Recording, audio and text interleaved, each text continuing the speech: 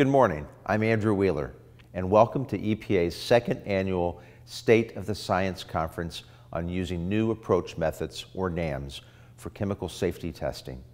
Regretfully, I cannot participate this year in person, but I want to congratulate everyone for the great strides we've made in just under a year. Last December, over 500 people gathered to discuss the agency's use of animal testing and worked to move forward my vision of one day eliminating use of animals for testing.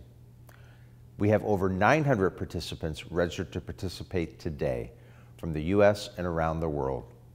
We share a common interest in using new approach methods to improve how chemicals are tested. We are meeting the goals set forth in my 2019 memo to eliminate the use of mammals in chemical testing by 2035.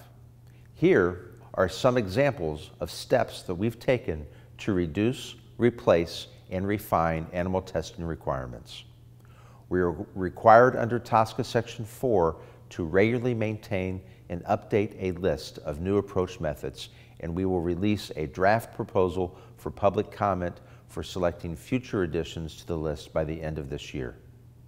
We've launched an EPA NAM website, a one-stop shop for getting updates on our efforts to reduce the use of animal testing.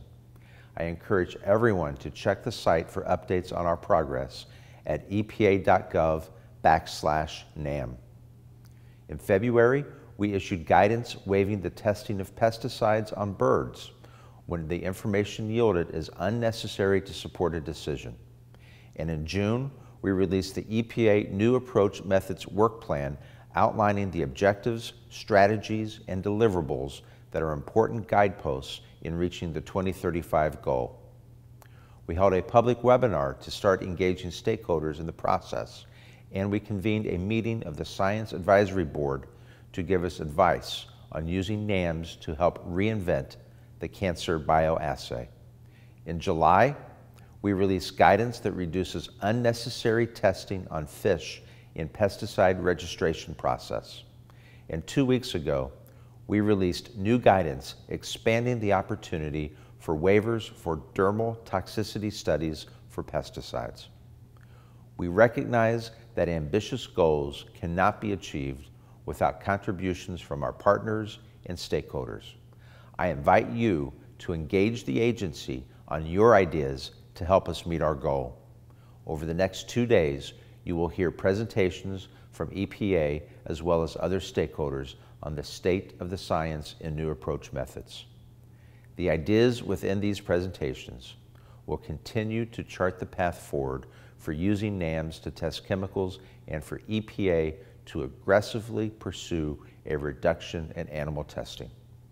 Let me close by saying that although we will continue to face challenges, I'm optimistic that we have the talent and creativity to develop NAMs for chemical testing that will achieve the goals we have set while continuing to protect public health and the environment.